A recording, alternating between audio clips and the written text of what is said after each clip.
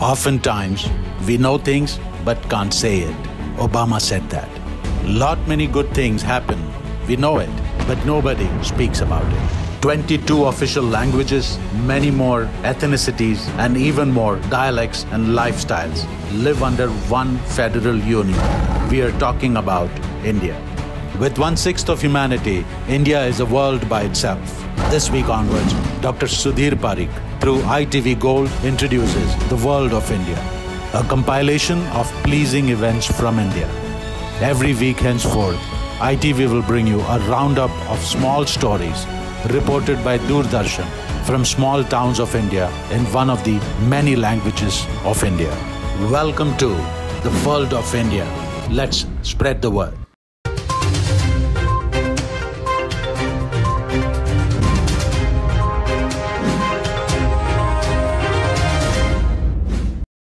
રાજ્યના ખેડૂતો હવે પ્રાકૃતિક ખેતી તરફ વળ્યા છે. ત્યારે ખેડા જિલ્લાના નડિયાદ તાલુકાના પીપળાતા ગામમાં અરુણભાઈ શાહ વર્ષ બે હજાર ઓગણીસથી પ્રાકૃતિક ખેતી કરી રહ્યા છે. પ્રાકૃતિક ખેતીમાં તેઓને આત્મા પ્રોજેક્ટ, ખેતીવાડી યોજનાઓ અને ખેડૂત શિબિરો દ્વારા માર્ગદર્શન મળ્યું છે.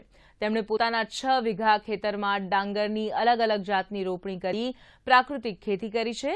જેનું તેમને ખૂબ જ સારું પરિણામ મળ્યું છે. તેઓ જણાવે છે કે તેઓને પ્રાકૃતિક ખેતીની પ્રેરણા રાજ્યપાલ આચાર્ય દેવવ્રતજીના પુસ્તક અને વડતાલ ખાતે સાત દિવસની તાલીમને કારણે મળી હતી.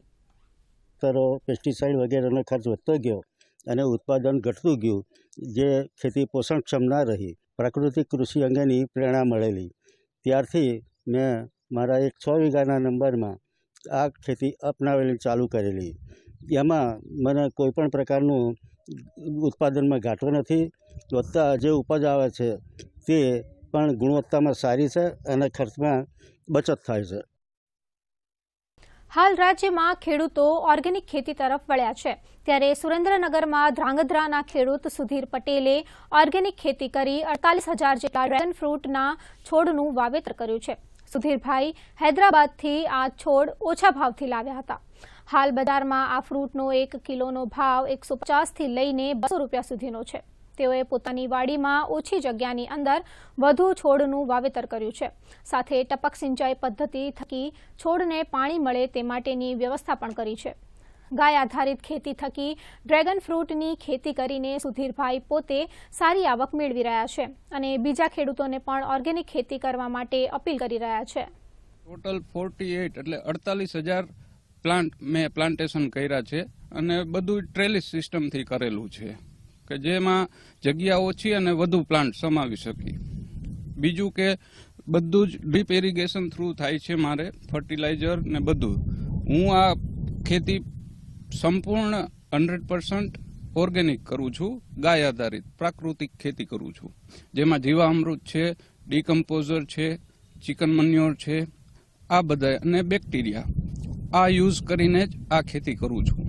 હવે ઓર્ગેનિક ડ્રેગન ફ્રૂટ હું અત્યારે ખરીદી કરવા આવ્યો. જે આ બીમારીમાં આના જે આની અંદર જે પ્રો પ્રોટીન છે એવું ક્યાંય નથી. અને અત્યારના સમયે જે માણસ શ્રીએ ઝેરની ખેતી કરે છે પણ આ ધાંગધ્રામાં એક એવું છે કે pure organic dragon fruit farm બનાવ્યું છે તો એના અમને આજુબાજુના ધાંગધ્રાવાસીને અમને ઘણા બધા ફાયદા છે. ડ્રેગન ફ્રૂટ લેવા આવું છું. રોજના હો છે બે દિવસ હોવા બસો કિલો વેચું હું. બરાબર? પાલનપુરના મેરવાડા ગામના એક ગોસ્વામી પરિવારે પોતાનું ખેતર ન હોવા છતાં પોતાના રહેણાંક વિસ્તારમાં જ પશુધન રાખી પશુપાલનના વ્યવસાય સાથે જોડાયો છે. આ પરિવારે ઘાસચારો, કેટલ ફીડ ખરીદીને પશુપાલનનો વ્યવસાય શરૂ કર્યો છે. એટલું જ નહીં, બધું જ બહારથી લાવતા હોવા છતાં માત્ર ત્રણ વર્ષના ગાળામાં જ તેઓ હવે મહિને એક લાખ રૂપિયાનો ચોખ્ખો નફો મેળવી રહ્યા છે જે અન્ય નાગરિકો માટે પ્રેરણારૂપ બાબત છે.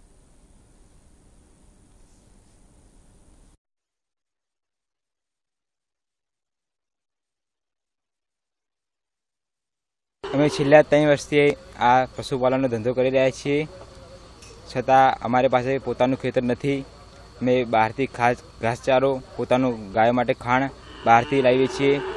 એમાં અમે ત્રણસો એક લીટર જેવું દૂધ ભરાઈએ છીએ દિવસનું.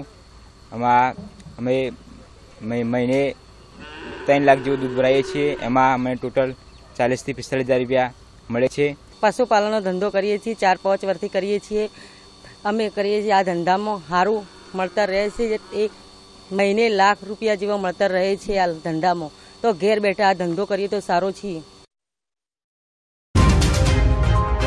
The world of India. Let's spread the word.